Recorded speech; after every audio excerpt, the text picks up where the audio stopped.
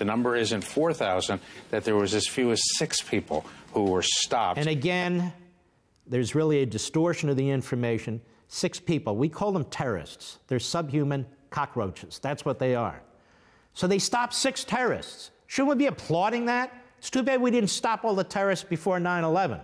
But again, the 4,000 relates to people of interest, and by people of interest, they mean people who could cause serious harm, who they have to, and they have to figure out who they are. So they smirk and they laugh, and we don't need a wall and, and all the rest.